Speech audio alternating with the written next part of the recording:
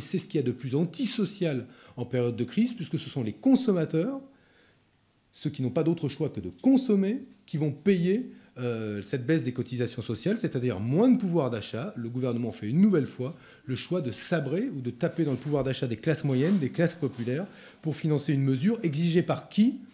Par Madame Parizeau. Parce que ce qui est en train d'être mis en œuvre avec la TVA sociale, c'est le programme du MEDEF.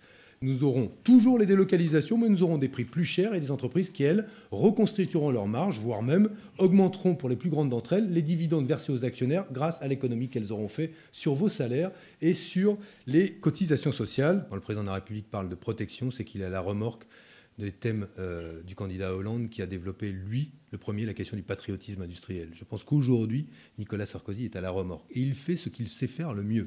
Et je lui reconnais un talent extraordinaire le pillage. Il pille le programme et le vocabulaire de l'adversaire.